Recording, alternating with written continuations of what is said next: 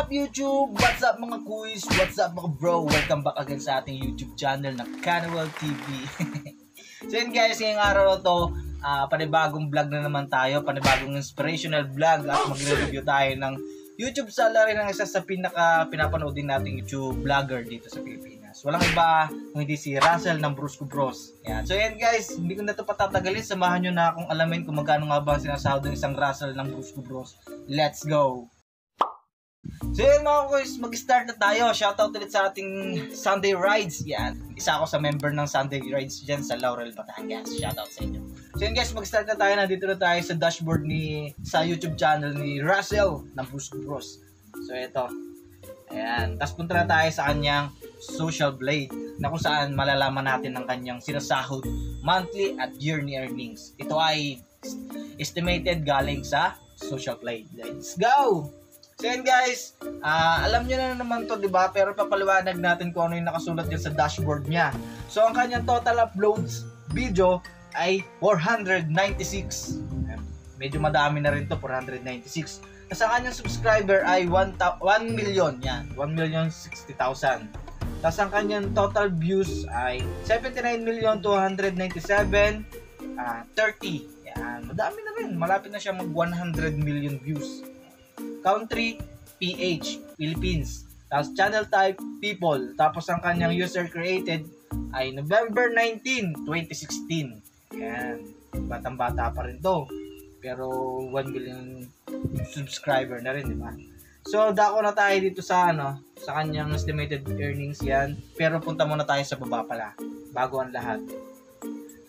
Dito tayo sa monthly gained video views for Russell Bruce Bros. Start tayo sa May. May ay 3 million. Okay? Tapos ang kanyang June ay 1 million. Tapos ang kanyang July 1 million din. Tapos 4 million mataas. Mataas guys kaya naka-again sila ng uh, maraming views dito sa kanilang mga YouTube channel at marami ding kita, maraming salapi. maraming views, maraming salapi. so dito naman tayo sa monthly gain subscriber ni Russell. So dito sa May niya ay 22 1,000, 9,000, 7,000, August, 35,000, 10,000, 10, 10, yan. Ano ba to? November, oh, wala siyang naging subscriber nung November at December. Imposible, baka hindi updated siya no, si YouTube. so yun guys, ang daming dumadagdag sa kanilang sa kanyang ano mga subscriber. Sana all daga, sana all. Kaya kung nakarating ka dito sa video na to, eh, huwag mo kalimutan i-subscribe. Hindi ka naman. so yun guys, dito na tayo sa, ano, sa kanyang uh, sinasahod. Dito muna tayo sa estimated monthly earnings. So ang kanyang monthly earnings guys ay ang lowest muna tayo sa lowest ay 225. Tapos ang kanyang highest ay 3,600. So computin muna natin yung ano, yung lowest niya. Yung 225 times 49.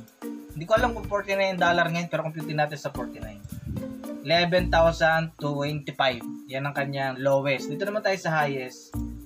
Yung 3,600 times 49. Oh, 176,400. Pwede na yan. Malaki na yan. Malaking malaki na yan, guys. Hindi mo yung kikitain sa pagtatrabaho. Di ba? Hindi mo yung kikitain sa isang factory worker hindi ko nilalang pero hindi natin yan kikitain doon in reality di ba? Real talk yun.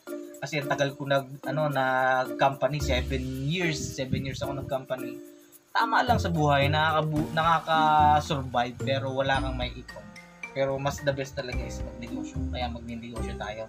Soon sana Onay Diyos Dito naman tayo sa kanyang estimated yearly earnings. Yan, yearly naman ang kanyang lowest 2,700 tapos yung kanyang highest 43,200. Dito naman tayo sa lowest yung 2,700 times 49. 132,300. Medyo pwede rin pero hindi pa yan makakabili ng ano eh, Toyota 86 eh, di ba?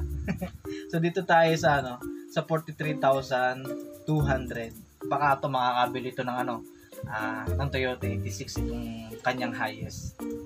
49. 2,116,800. Yan, pwede ba yung makabili ng isang Camaro? Ay, na isang Toyota 86, kasama, isama mo pa dyan yung kanilang mga sponsor. Yan. Diba? Laki ng bayad ng mga yan pag may sponsor, diba? Bayad yung mga yan. Yun guys, uh, ito na yung kanyang kinikita monthly at saka yearly earnings ng isang Russell Bruce Bros. Okay? Kaya samahan nyo akong ma-inspired sa akin mga video yung ginagawa kagaya ng mga ganitong YouTube salary review. So yun guys, dito na nagtatapos ang ating video at sana nag-enjoy kayo, sana na-inspire din kayo kung napanood mo to, gusto mag-vlog, may cellphone ka, simulan mo na ngayon, baka malay mo, ikaw na yung mag-viral at maging at kumita ng maganda dito sa YouTube, di ba? Kaya kung napadaan ka lang, huwag mo na rin akong kalimutan i-subscribe dito sa Carnival TV. Click mo yan, walang bayad yan. Kaya tulong mo na yan sa akin. So guys, nandito na lang itong video na to. And keep safe everyone. Dumadami na naman ng sakit. Anong kakasakit dito sa atin, bansa. Kaya mag-ingat tayo, doble ingat. Huwag nang lumabas kung wala namang gagawin sa labas. Ayan, Carnival TV is out. Hey! Thank.